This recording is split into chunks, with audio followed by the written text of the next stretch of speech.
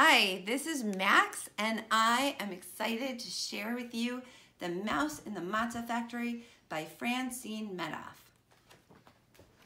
Once there was a mouse who lived in a wheat field in the country. One day, people came and put a fence around the wheat field. They planted the wheat and then they watched the wheat, and the mouse watched too. He was curious what was so special about this wheat. The people stayed and they watched the wheat grow.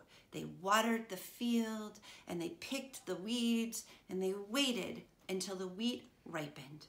The mouse watched the people watching the wheat. When the wheat was ripe, the people cut the wheat down and they tied it into bundles and they loaded it into a wagon. The mouse hopped on the wagon to see what would happen. The wagon drove through the countryside until it came to the mill.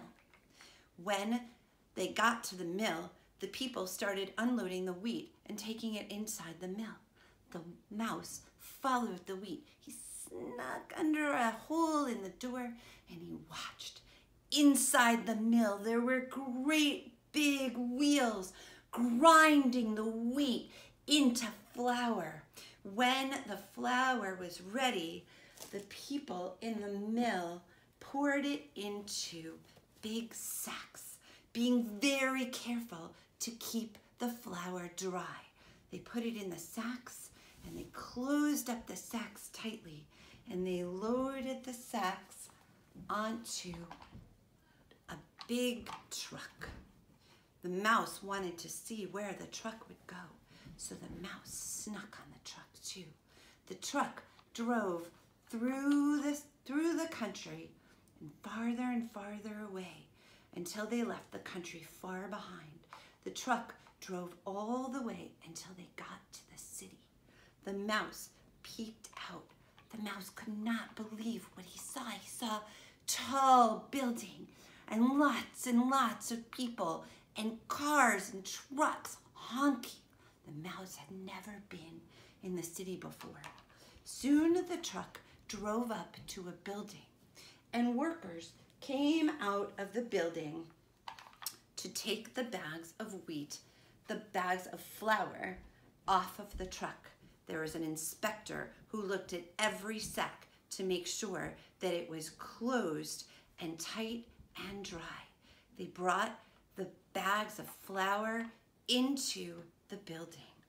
The mouse looked around. He found a little window that there was a little crack and he snuck through that crack and he hid behind a clock so he could watch and see what would happen. Inside there were lots of people and they were all busy. In one area, they were unloading the sacks of flour. In another area, there were people with buckets of water.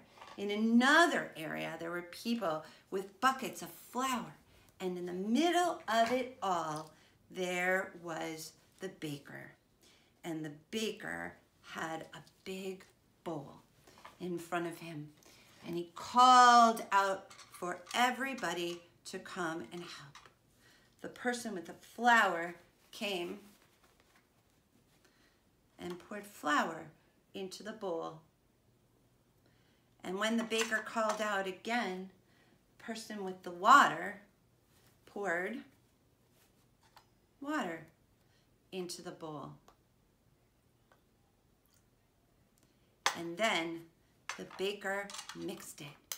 He mixed it and mixed it until it turned into a ball of dough.